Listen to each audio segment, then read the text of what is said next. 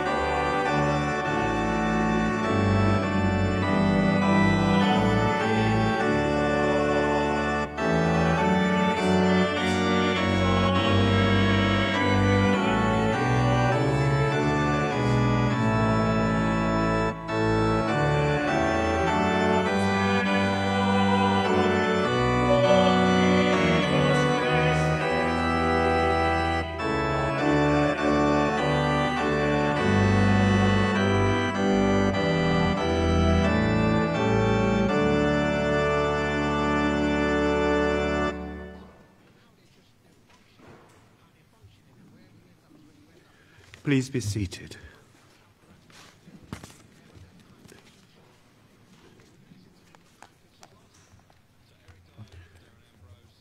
O Lord, you have searched me and known me.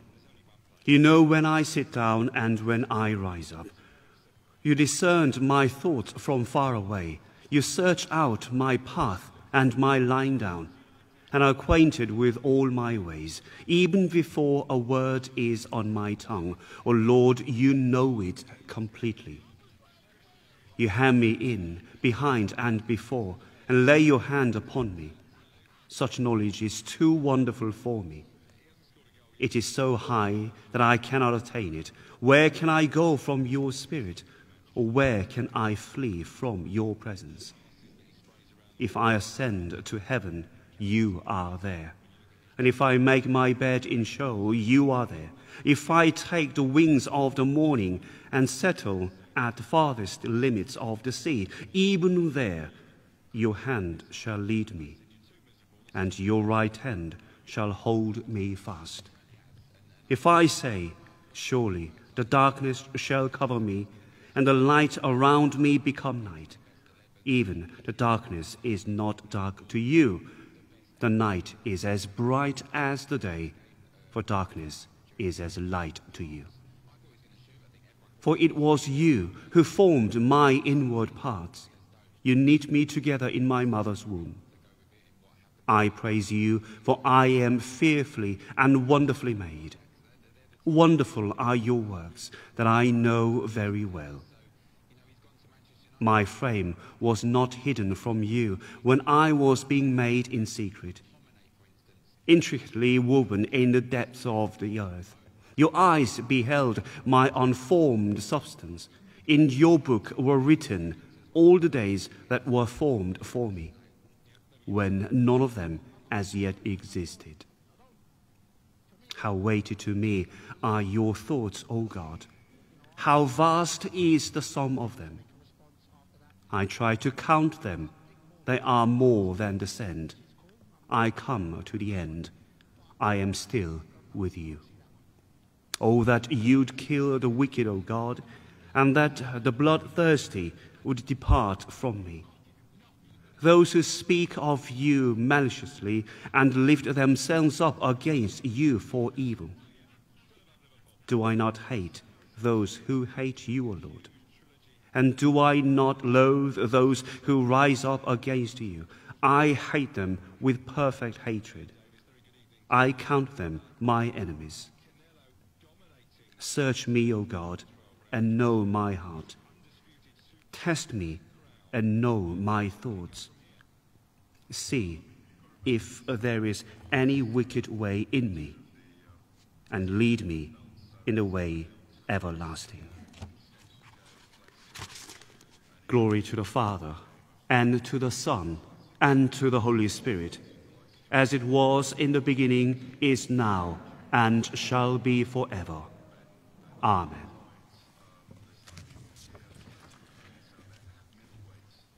The Lord is my shepherd, therefore can I lack nothing. He makes me lie down in green pastures and leads me beside still waters. He shall refresh my soul and guide me in the paths of righteousness for his name's sake. Though I walk through the valley of the shadow of death, I will fear no evil for you are with me. Your rod and your staff, they comfort me. You spread a table before me in the presence of those who trouble me. You have anointed my head with oil, and my cup shall be full. Surely goodness and love in mercy shall follow me all the days of my life and I will dwell in the house of the Lord forever. Glory to the Father, and to the Son, and to the Holy Spirit, as it was now and shall be forever.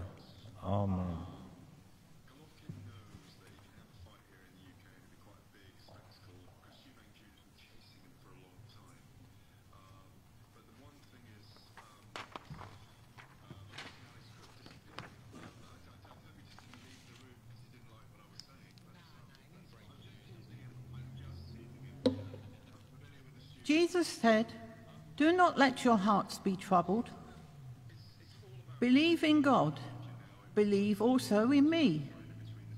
In my Father's house there are many dwelling places. If it were not so, would I have told you that I go to prepare a place for you?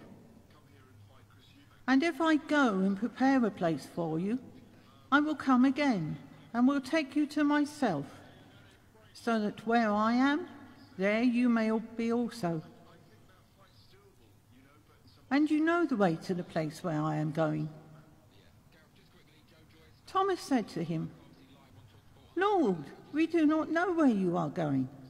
How can we know the way? Jesus said to him, I am the way, and the truth, and the life.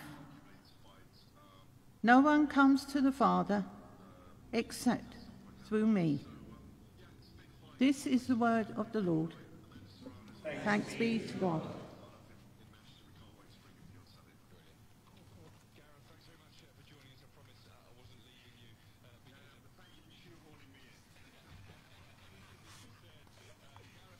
A reading from Revelation. Then I saw a new heaven and a new earth. For the first heaven and the first earth had passed away, and the sea was no more. And I saw the holy city, the new Jerusalem, coming down out of heaven from God, prepared as a bride adorned for her husband. And I heard a loud voice from the throne saying, See, the home of God is among mortals. He will dwell with them. They will be his peoples, and God himself will be with them. He will wipe away every tear from their eyes. Death will be no more. Mourning and crying and pain will be no more. For the first things have passed away. And the one who was seated on the throne said, See, I am making all things new. Also he said, Write this, for these words are trustworthy and true. Then he said to me, It is done. I am the Alpha and the Omega, the beginning and the end. To the thirsty I will give water as a gift from the spring of the water of life. Those who conquer will inherit these things, and I will be their God, and they will be my children. This is the word of the Lord.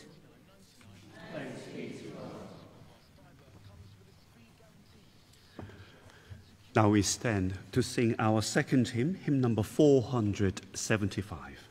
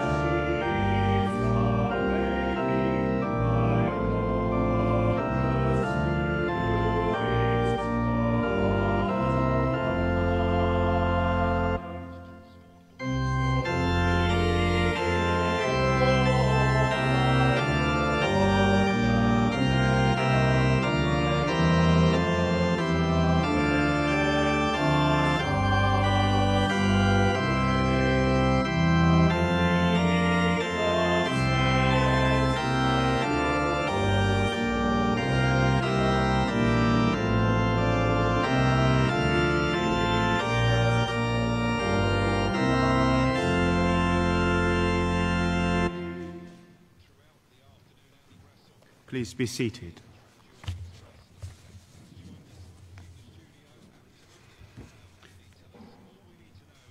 Let us pray.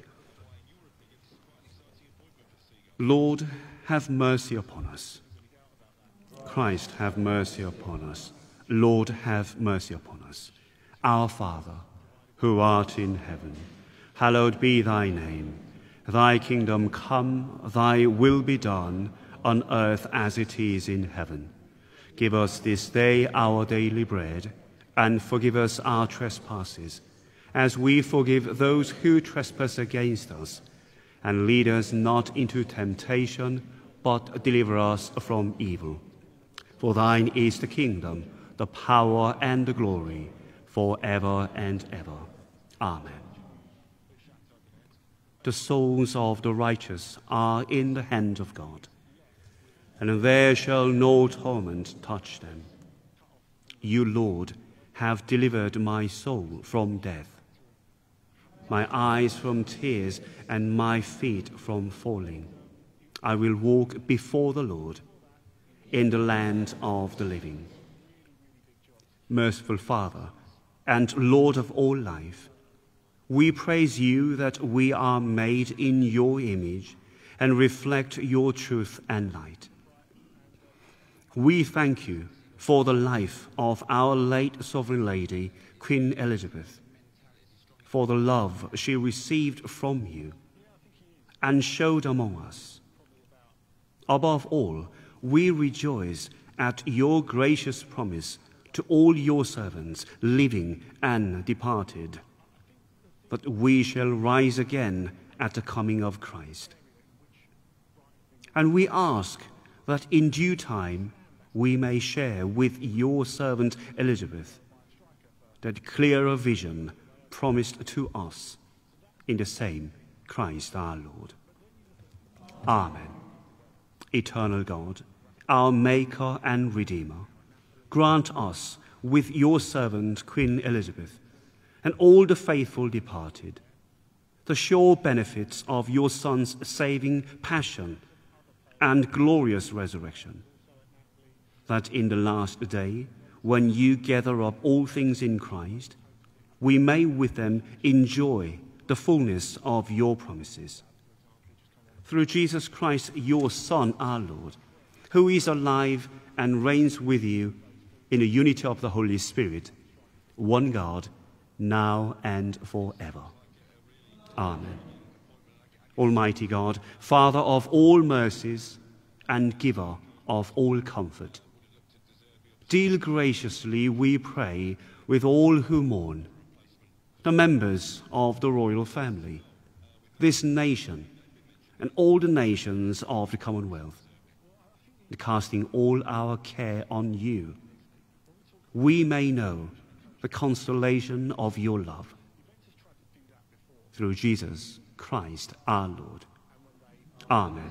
And into your hands, O Father and Lord, we commend your servant, our late sovereign lady, Queen Elizabeth. Enlighten her with your holy grace and suffer her never to be separated from you. O Lord, in Trinity, God everlasting. May God, in his mercy, grant us, with all the faithful departed, rest and peace. Amen. Now, dear my friends, I'm going to invite all of you, if you wish to do so, to come up here in orderly form. And Alfie, our server, and Dave Jenner, our church warden, will help you to light the candle. When you light the candle, um, go back to your seat. And I think um, by the time we may miss to keep um, one minute silence at 8 o'clock, but we will do our best. And at the end of this service, we will keep the silence for one minute. While we are lighting the candles, we're going to play the music Psalm 139, which you heard. And this is the version that was sung when the coffin was arriving at the Westminster Hall a couple of days ago.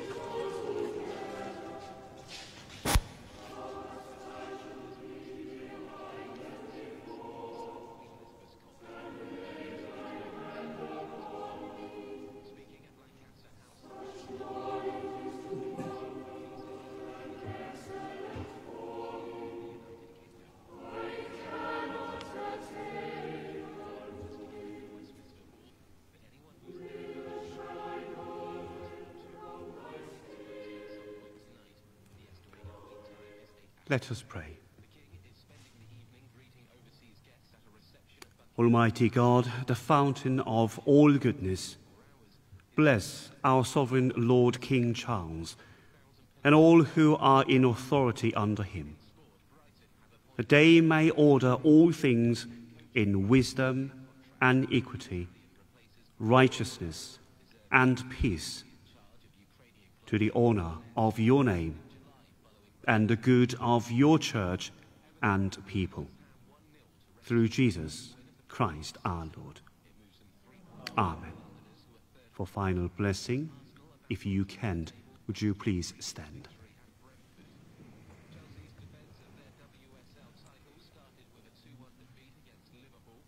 The Lord be with you, and also with you. May God, in his infinite love and mercy, bring the whole church, living and departed, to a joyful resurrection and a fulfillment of his eternal kingdom, and a blessing of God the Almighty, the Father, Son, and Holy Spirit be among you and remain with you always. Amen. Before we sing our national anthem, now we are going to keep our one minute silence.